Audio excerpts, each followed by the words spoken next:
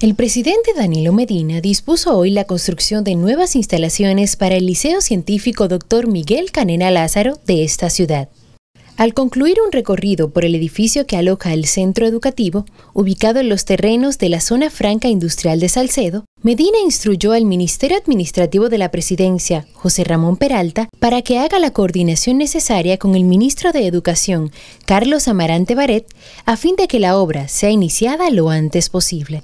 Guiado en el recorrido por los bachilleres Rosa Linares, de 13 años, y Oliver Vega, de 14, el primer mandatario escuchó con atención sus explicaciones, hizo preguntas e interactuó con los estudiantes a su paso por el Laboratorio de Ciencias y las aulas de Matemáticas y Lengua Española.